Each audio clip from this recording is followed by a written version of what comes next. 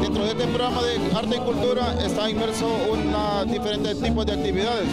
Entre ellas, el poder aprender a tocar diferentes instrumentos musicales. Y es así que se han conformado dos grupos musicales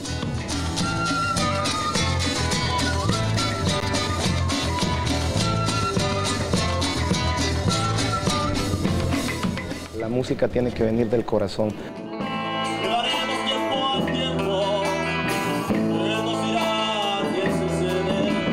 Somos privados de libertad, pero eso no significa que seamos personas que no, no poseemos sensibilidad o un tacto ante una sociedad que realmente lo que necesita es la paz.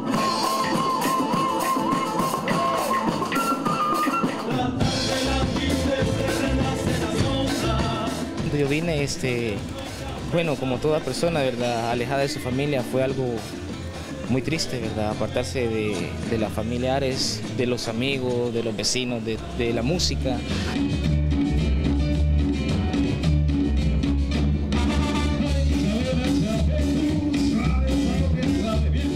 La música, como le digo, es algo que llevamos en la sangre. Le pusimos nueva esperanza porque yo creo que tanto los que estamos en este lugar como los que están afuera tienen que tener, tener siempre lo que es una nueva esperanza, una razón de ser, una, una ilusión, algo por qué vivir, un sueño que alimentar.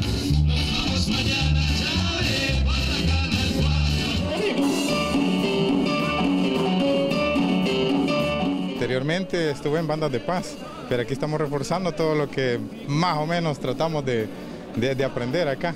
¿Cómo va ese ritmo musical con el Piro? Ah, pues ahí va, algo así va. Todos mis compañeros, como los pueden ver, trabajamos arduamente todos los días. De 8 a 12 de la mañana sacamos notas musicales, eh, ya de la 1 a las 4 eh, ya ensamblamos canciones para ser preparadas para la hora de los eventos.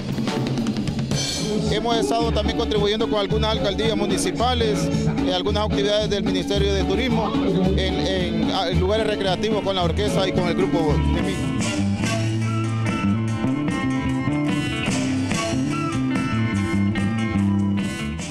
La cárcel es como, como tu paz, es como, como expresar lo que sos en realidad. ¿verdad?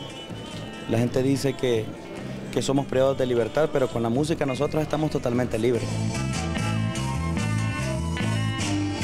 Con imágenes de Dagoberto Alfaro, Raquel Castaneda, Noticias 4 Visión.